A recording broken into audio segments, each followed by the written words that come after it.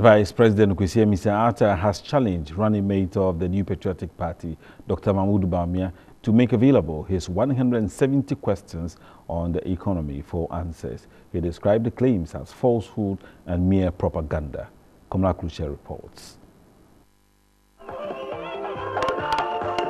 It was a health walk from the Cape Coast Regional Coordinating Council to Moree, the hometown of the Vice President, Kwesi Amissah-Arthur, joined by his wife Matilda, the parliamentary candidate for the Abura Asebu Kwamankese constituency, Dr. Kweku Hayford, members of the Vice President campaign team. Thousands turn up to show support to the NDC.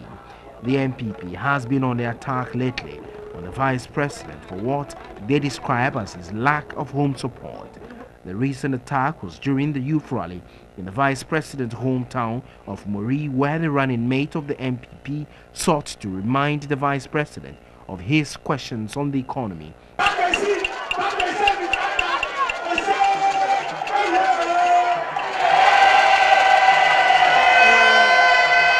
The vice president does not look enthused about what he has always termed lies being peddled by the NPP running mate.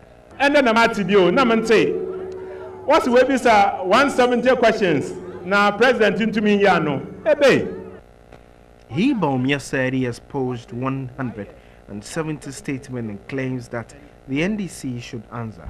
Since when did statement and claims become questions? Asking for me, the lies are many.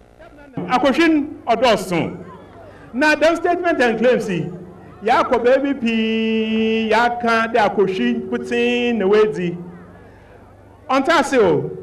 He noted the economy, even though has faced challenges, has done better as compared to the Kufuor era. Director of Elections of the NDC, Samuel Ofosu says the culture of insults crippling into the body politics of the country is sickening. The vice president later introduced the parliamentary candidate to the million supporters. Komla Klutse, TV3 News, Moree.